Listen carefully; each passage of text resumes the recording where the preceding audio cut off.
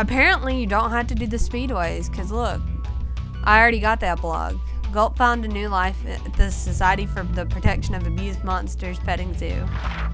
Some of the Earthshaper joined the Faun Dance troupe in Fracture Hills. One of Spyro's friends found a new toy. Hunter's scuba diving career got cut a little short. Moneybags swindled the Bone Builders one time too many. Agent Zero found some new recruits to train. The Ice Builders finally made it to Colossus for the big hockey game. The chef finally got to host a hot tub party. Spyro missed his chance with Elora. Crush decided to pursue higher learning. Spyro was confronted by the black sheep of the herd. The end. Okay. Um that was it. That was the epilogue.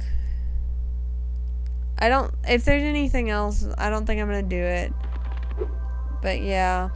That's it. Spyro 2 complete. Yay! Yay! Yay!